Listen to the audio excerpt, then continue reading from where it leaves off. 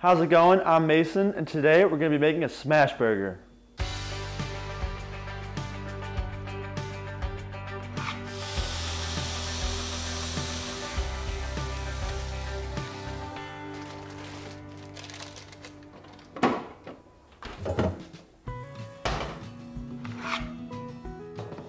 The main ingredient.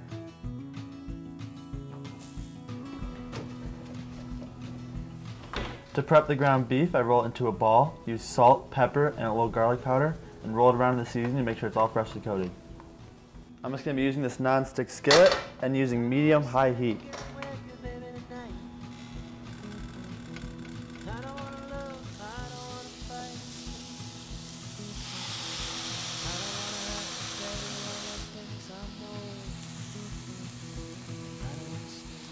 Toasting the bread, so that way the juices that come from the burger don't make the bread soggy, and we still get that nice crunch every time we bite into it.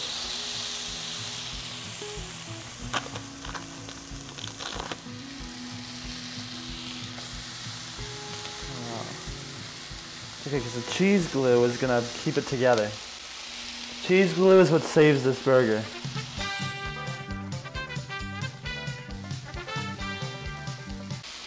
Flip the bread. Flip it a couple times.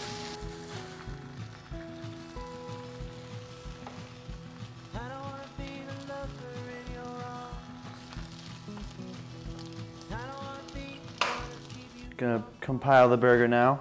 Sandwich bread, because I don't have hamburger buns. Down. Look at that. Beautiful burger, perfectly cooked through. The cheese is melty, the bread is toasted. This is gonna be a great lunch. Thanks for watching.